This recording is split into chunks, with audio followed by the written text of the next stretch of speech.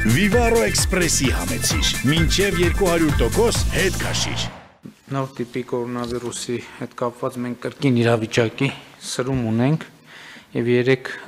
ունեցել ենք 374 նոր դեպք 3913 հետազոտությունից ինչի հետ է կապված սա իհարկե կապված է մարդկանց շարժու շարժողունակության ավելացման հետ եւ ինչպես ենք մենք այս իրավիճակին վերաբերվում, մեր դիրքորոշումը շարունակում է մնալ նույնը, որ մենք պետքա ապրենք կորոնավիրուսի հետ զուգահեռ եւ այստեղ շատ բան կախված է մեզնից յուրաքանչյուրի անհատական պատասխանատվությունից Իհարկե նաև վարչական մեթոդներ պետքա շատ խստորեն կիրառեն եւ պայմանավորվել ենք, որ տեսչական մարմինները եւ ոստիկանությունը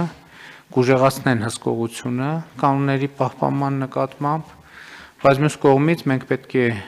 հասկանանք, որ ունենք կարմիր գծեր, կարմիր գիծային է, երբ որ մեր հիվանդանոցային կարողությունները կսպառվեն։ Այդ ժամանակ մենք պետքա փորձենք այլ որոշումներ կայացնել։ Իհարկե հուլիսին մենք ծավալել էինք շատ մեծ հիվանդանոցային կարողություններ։ Հիմա այդ կարողությունների մեծ մասը արդեն վերադարձել են իրենց նախկին բնականոն վիճակին, բայց նաև պատրաստ են ցանկացած պահի յետ վերադառնալ կորոնավիրուսի սպասարկմանը։ Պարոն Թորոսյան, մենք այս պահի դրությամբ դեռևս նոր ծավալման կարիք չունենք բայց եթե իրադարձությունները զարգանան այսպես, շատ հնարավոր է, որ նորից այդ նույն խնդրի առաջ կանգնենք։ Այո, պարոն վարչապետ, այս պահի դրությամբ մենք ունենք մոտավորապես ծավալած 1230 սովորական մահճակալ եւ 170 վերակենդանացման մահճակալ, որոնց մոտավորապես 30%-ը դեռևս մնում է ազատ, այսինքն ազատ մահճակալներ շատ կան եւ ընդհանրապես մոտ 20 բժշկական հաստատություններից այս պահին կորոնավիրուսային հիվանդությամբ զբաղվում է 5 միայն այդ դրա, դրա համար նախատեսված հիվանդանոց եւ եւս 3-ը նեղ մասնագիտացված շատ փոքր թվերով երեխաների, նորածինների եւ հղիների համար սակայն ինչպես դուք նշեցիք, այո, եւ ի սկզբանե էր այդպես պլանավորված, ցանկացած պահի կամ 1-2 օրվա մեջ, երբ որ իրավիճակը կրկին ակտրուկ կսրվի, մենք կարող ենք ամբողջ ռեսուրսը, որը ուզում եմ հիշեցնել, մոտավորապես 2700-ից 2800 մահճակալ սովորականներ եւ 300 վերակենդանացման նորից կարող է գործի անցնել։ Իհարկե մենք մեր գործողությունները, մեր բոլորիս կառավարության գերատեսչությունը եւ մեր ազգաբնակության պետք է միտված լինի դա թույլ չտալու ինչպես նախկինում եւ ես ուզում եմ եւս մի թետակրքիր կամ ոչ հետաքրքիր, բայց փաստ հնչեցնել հիշում եք մենք ասում ենք որ մեր մոտ ամենաբարձր թիվը այդ պահին եղած հիվանդների հուլիսի 6-ի շրջաններում էր Հիմա փաստացի այնպես է ստացվել, որ ամենացածր թիվն էլ մեր մոտ եղել է սեպտեմբերի 11-ին, եւ սեպտեմբերի 11-ից մինչ օրս մենք աճում ենք արդեն։ Այսօրվա թիվը իհարկե կտրուկ տարբերվում է նախորդ օրերի աճից, սակայն տենդենսը սկսվել է սեպտեմբերի 11-ից, նոր չէ, եւ այո պայմանավորված է թե շարժունակության մեծացմամբ եւ թե համաճարակային կանոնների նկատմամբ մեր պահելու կարգապահությամբ, ինչպես մենք միշտ նշում ենք, որ միայն կանոնը ինքնին կարևոր է իհարկե, բայց կարգապահությունը առավել կարևոր է, հետեւաբար կորոնավիրուսային հիվանդության հետ ապրելու տրամաբանության եւ ռազմավարության շրջանակներում մենք պետք է շարունակենք կրել դիմակները այնտեղ որտեղ հնարավոր է, այսինքն գրեթե ամենուր բացառությամբ սնվելու, պահել սոցիալական հեռավորություն եւ հաճախ լվանալ ձեռքերը։ Ուզում եմ նաեւ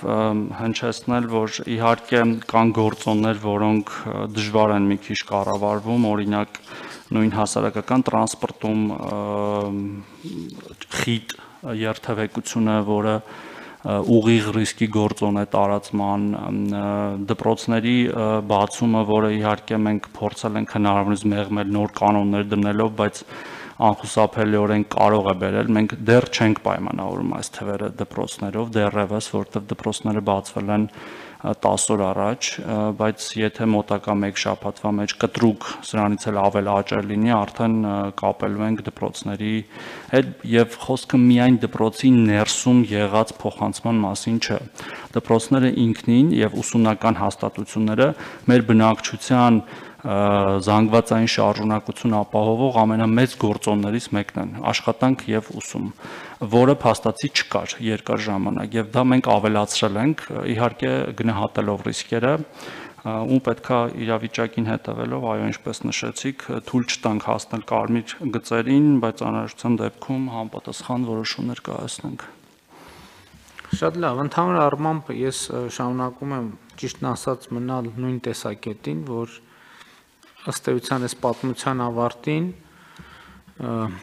բոլոր երկրներն էլ մոտավորապես նույն իրավիճակում են լինելու, պլյուս մինուս մի քիչ։